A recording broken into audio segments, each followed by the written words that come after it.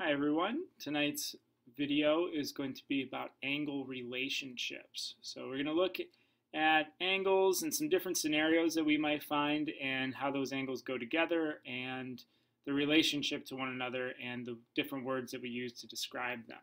So first scenario that we're going to talk about are adjacent angles. And adjacent, another word for that is basically next to. So when you think about adjacent angles, you're thinking about two angles that are next to each other. So they have a common vertex and a common side. In this case here, uh, I'm going to call this angle ABC and this angle CBD. So angles ABC and CBD are adjacent. So this is an example of adjacent angles. Over here, if I call this angle XYZ and this angle PQR, these are not adjacent, right? They are kind of like located next to each other, but they don't share a common vertex and a common side, right? The vertex of this angle is Y, the vertex of this angle is Q, so there's no common vertex there and they're obviously they don't share a side because they're separated. Now down here, these two look like they are um, adjacent angles, but listen carefully to the two angles that I'm going to be comparing. So we'll call this angle LMN, and then I'll be looking at angle LMP. Now, LMN is the first one I'm looking at, and then LMP is the second one I'm looking at. Those two aren't really next to each other, right? Even though they could share the common side, LM, and they share the vertex M, if I'm thinking about this big angle, LMP, and then I think about LMN, LMN is actually kind of like inside LMP. So I wouldn't consider that an adjacent angle. So if, I'd have to be very careful about how I'm reading the question. If it asks me if LMN and LMP are adjacent, I would say no. But if it asks me a scenario where it's like ABC and CBD, where the common vertex is B and then the common side is C, and these two angles are next to each other, so I'm looking at this angle here first, and then this angle here second, those would be adjacent. Okay, so just be careful about the different scenarios you might see and what exactly is adjacent and what's not adjacent. So this one, yes, these two, no. The next relationship we're going to talk about are vertical angles. So vertical angles, again, they have a common vertex. Let's call that x. We'll call this again, uh, we'll call this yxz and we'll call this RXS. These two are formed by intersecting lines. So I have YX and Z over here, RX and S. They have a common vertex. They're formed by two intersecting lines. They basically make an X. And so YXZ is vertical to, or you could say vertical with, RXS. So those two are vertical angles. The nice thing about this is the other two angles in this picture are also vertical angles. So YXR and ZXS are also vertical angles. And another neat fact about vertical angles is that they're always congruent. So angle RXS is congruent with YXZ. And so I put the one little arc on those. And then remember, I said these other two angles in the picture are also congruent. So that means YXR and ZXS are also congruent. They're congruent to each other, but not to these other two. So that's why they get two arcs to distinguish that those two are congruent as opposed to the one arc on the other one. Okay, so that's what vertical angles look like. Here I have a diagram that kind of looks like an X, but these are all just four rays that are extending from the same endpoint. These aren't intersecting lines, right? Because if I look clearly here, this line does not, or this ray does not line up with this ray. So that's not a case of vertical angles. So even though I can see there's angles like across from each other, they're not quite um, made up by intersecting lines. So that this is a scenario where it's not.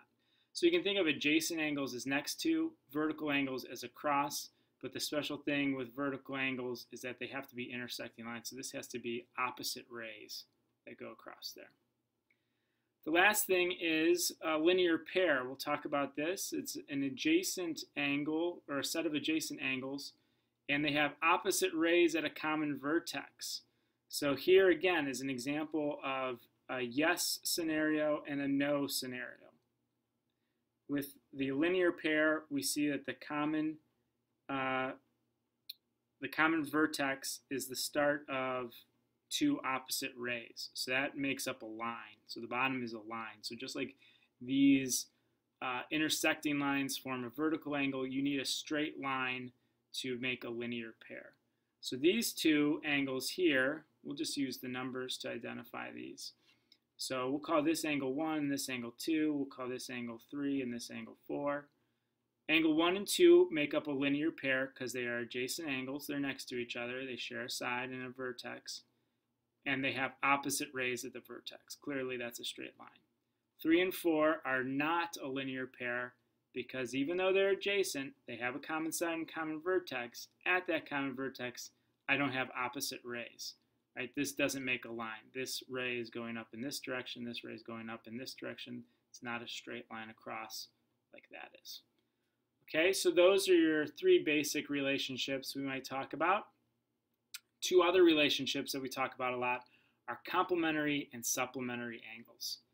Complementary angles are angles whose sum is equal to 90 degrees. So that means when you add up the measure of two angles, they equal 90 degrees. So here I have two complementary angles. One is 40 degrees, one is 50 degrees. 40 plus 50 equals 90 degrees. Okay?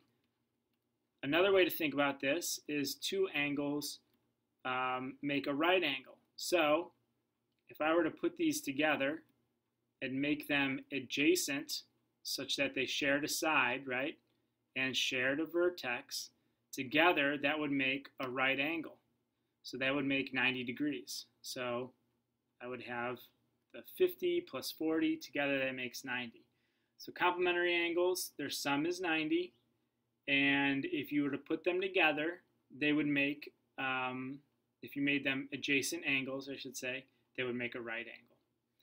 Down here with supplementary angles, those are angles whose sum is equal to 180. So in this case, we said 122 degrees plus 58 degrees equals 180 degrees. Okay, so supplementary, 180, complementary, 90. And again, we can move these angles around. If I made these two adjacent angles and put them next to each other such that they shared a vertex and a common side, they would make up a linear pair, right? So they would make it so that that bottom line uh, is op or opposite rays, and they would add up to be 180. So that's another easy way you can tell from a diagram is basically if the two angles, when they're adjacent, make up a right angle, that means they're complementary, 90 degrees. And if they're put together and they make up a linear pair, that means they're supplementary and their sum is 180 degrees. Okay, and we'll probably have some examples in class where you'll be using some algebra to finish out like the missing. You could they would say like, oh, this angle is 122 degrees, and find this is 4x and say that this together they're supplementary. So you'd say 4x plus 122 equals 180 and solve for that. But we'll do that in class, so we don't need to do any examples right now. Last thing we want to talk about are perpendicular lines. So they are intersecting lines that form four right angles. So if I look at something like this, it's pretty clear. Let's say we have line AB and CD, they are intersecting lines, AB intersects line CD, such that they form four right angles. So the notation for a right angle is just a little box in the corner. I think we talked about that already. If you look at this, all four of these make right angles. So if we call this point in the middle, we'll call that point P. So we can say that angle CPB is 90 degrees. APB, APC, I should say, is 90 degrees. APD is 90. DPB is 90. So these are all 90 degree angles. Um, that's nice, easy. We can do some other examples uh, with this uh, which I'll show you in a second. But just know that these are 90 degrees, and that's a, the definition of perpendicular lines. If you want to use the notation, you would say line AB is perpendicular to line CD, and this is the notation for perpendicular to. It looks like an upside down capital T. So it looks like one line meeting the bottom line at a right angle. Okay, so that's how we would distinguish that AB is per, uh, perpendicular to CD. So that's pretty easy to see when we have it just like in a, a diagram like that. But in this case down here, let's say we have it where it's not so clear that it's 90 degrees maybe. So uh, we'll just have to be careful about you know, when the diagrams don't look as easy as the way that we see them up top. So here, again, let's call this D, E, call this F, G, and then we'll call this H, and then we'll call our vertex there, we'll call that X. Okay, so in this case, I could just say, you know, DE is perpendicular to GF and then you would know that all these four angles are 90 degrees, which is nice because then it tells you something about the relationship between GXH and HXE. So if these two lines are perpendicular and every angle in here is 90 degrees, then that tells me that GH or GXH and HXE then must be complementary because those two angles together make up a 90 degree angle. So we can say angle GXH and angle HXE are complementary. And remember, complementary means they add up to 90. Their sum equals 90 because those are the two adjacent angles that fill out GXE, which we know is a 90 degree angle because these two lines are perpendicular. So with this, we'll do some uh, other algebra problems. So let's say that angle GXH is 3x plus 6 degrees, and we'll say HXE is 9x degrees, and we'll say solve for x or find their angle measure, whatever we want to do. With this case, we know that 3x plus 6 plus 9x equals 90 degrees. We know they're complementary because the two of them together make up that right angle, and that means they add up to 90. So we have 12x plus 6 equals 90 just combine the x terms there, that's all we did. And so now what we want to do is subtract 6 from each side. And so we'll get 12x equals 84. And now we want to divide both sides by 12 to solve for x. And so x equals 7. Okay, now we can take that, if it asks for the actual angle member, measures, we can plug that back in to solve for the angles. So if this angle HXE is 9x, that equals 9 times 7, so that's 63 degrees. And now let's check. 3x plus 6 is 3 times 7 plus 6, so that's 21 plus 6, which is 27 degrees. And now we want to make sure that the two of them together add up to 90. So 63 plus 27 does equal 90 degrees. So that all checks out. So these are some applications we'll have for working with perpendicular lines and uh, just the other different relationships that we have. So when we know something's complementary, we know that the sum adds up to 90. If it was supplementary, it'd be 180. And then we'll also just have to know when we are referring to adjacent or vertical angles, just what exactly that means. So bring these notes with you to class tomorrow. We'll do some work in class as we usually do, and have a great night.